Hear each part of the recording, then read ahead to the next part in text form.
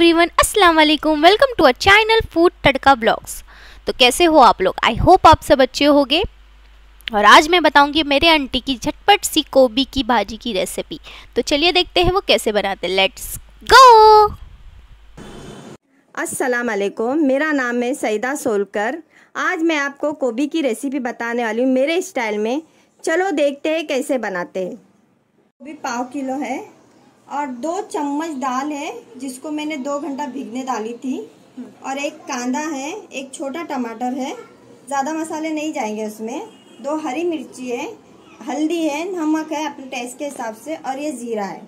बस ज़्यादा मसाले नहीं जाएँगे इसमें। ये हमारी पूरी गोभी की रेसिपी रेसिपी है। चलो अब हम बनाते हैं। और गोभी को मैंने पहले वेनिगर में इसलिए भिगने डाली थी कि उसमें है ना बारीक पतले कीड़े होते हैं किस कोई भी गोभी में होते हो सकते नहीं हो सकते हैं।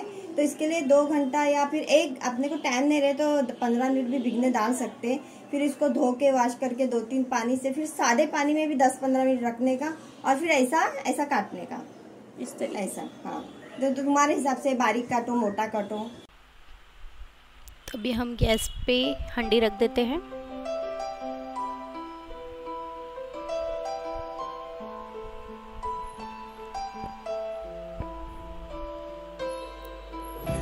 इसमें हम टू टेबल स्पून ऑयल डाल देंगे, दो चम्मच।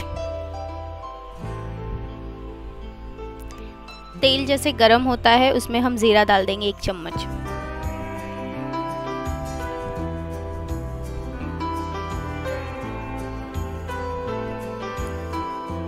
ज़ीरा थोड़ा गरम हो जाएगा, जो हमने प्याज काट के रखी थी, वो डाल देंगे।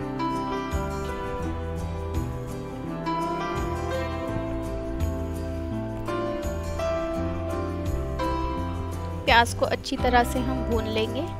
ज़्यादा नहीं भूनना है, एकदम।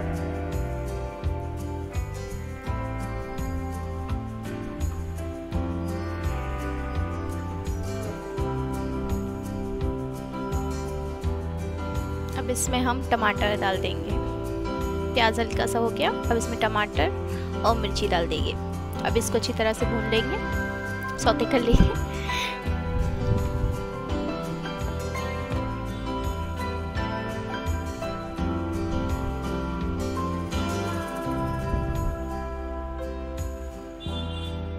अच्छी तरह से इसे भून लेंगे।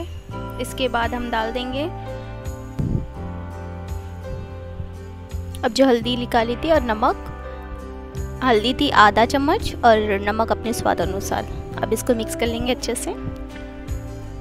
थोड़ा टाइम अब देखिए जो गोभी हमने काट कर रख दी थी, वो डाल देंगे अच्छे से। ऐसे फैला लेनी है कि कांदा जल ना जाए नीचे वाला। अच्छे से फैला देंगे।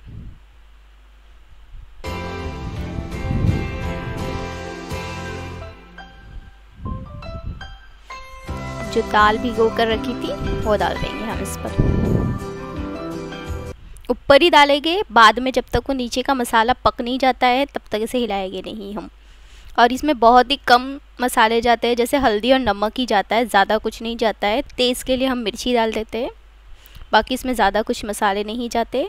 अब इसे हम ढक के थोड़ा टाइम पकने रख देंगे ये देखिए, अब इसे हम मिक्स कर लेंगे।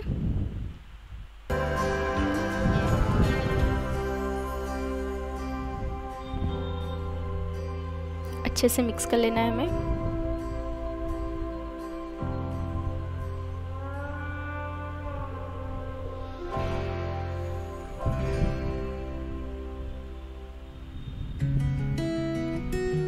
मिक्स करके हम थोड़ा टाइम और इसे पकने दे देंगे भाप पर। ये देखिए हमारी बनके रेडी हो गई। थोड़े थोड़े टाइम से अब इसे मिक्स करते रहेंगे ये अभी हमारी गोभी की भाजी हो गई है। इसमें परेशान मत होना, अगर दाल गली नहीं है तो वो हो जाती है बाद में सही। उसको ज़्यादा गलाना नहीं रहता है दाल को। बस इतनी भी हो गई तो बस है। ये दाल जो दिख रही है ना आपको, ये ये इतनी भी हो गई ना, बस है, बाद में गल जाती है। उसमें दम पे रखेंगे, हो जाती है। गोभी की तरकारी हमारी हो गई। अब इसको बंद करके, ढक्कन बंद करके रख देते हैं। ये देखिए हमारी गोभी की भाजी बनकर तैयार हो गई है। बहुत ही इजी है, बहुत ही झटपट बनने वाली है। इसमें दाल ऐड हो गई है, इसीलिए बहुत अच्छी लग रही है ये। बहुत टेस्टी भी लगती है। अगर को गोभी की भाजी अच्छी लगी हो तो मेरे चैनल को सब्सक्राइब कीजिए लाइक कीजिए शेयर कीजिए और बेल आइकन को ज़रूर दबा दीजिए। मेरे नेक्स्ट नोटिफिकेशन का वेट कीजिए। तो चलते हैं फिर। अल्लाह हाफिज़। Food tadka. We locks